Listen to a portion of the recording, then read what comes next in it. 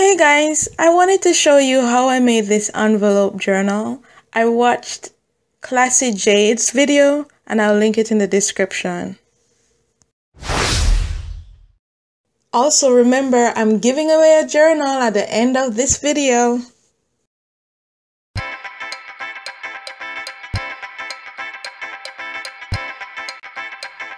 So Klassy Jade did say that this was the best type of envelope to use than the one with the point.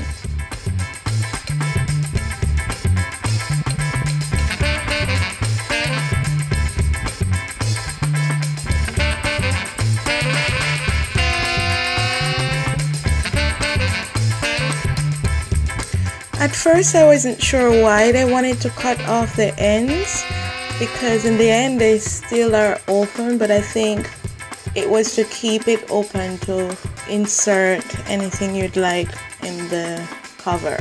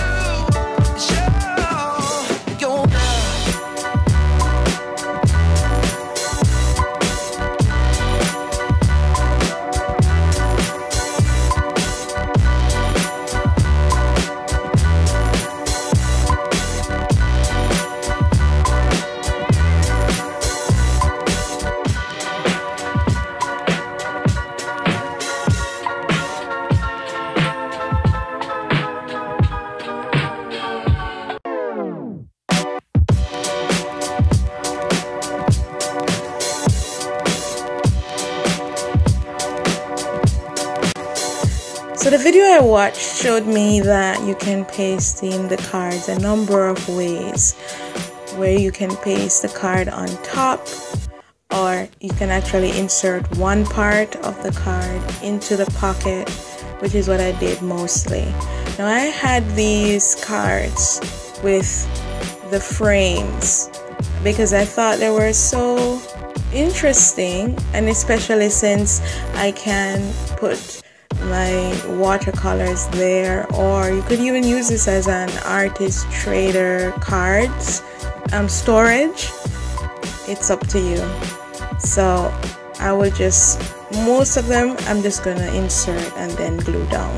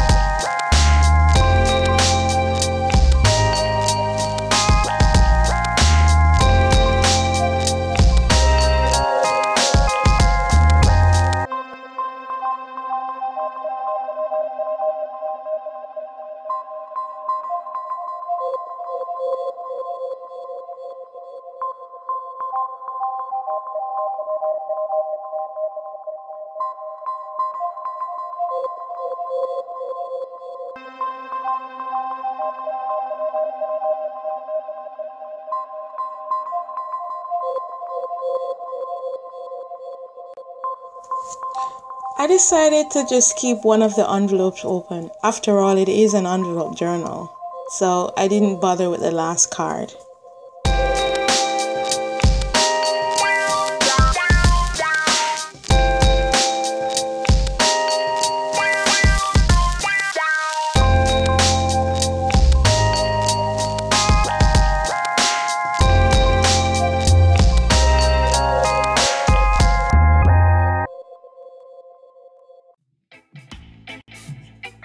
Alright, that's it.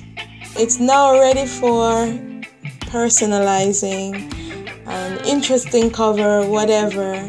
And I'm gonna show you what I did with the cover and then maybe sometime later I'll do a journal flip.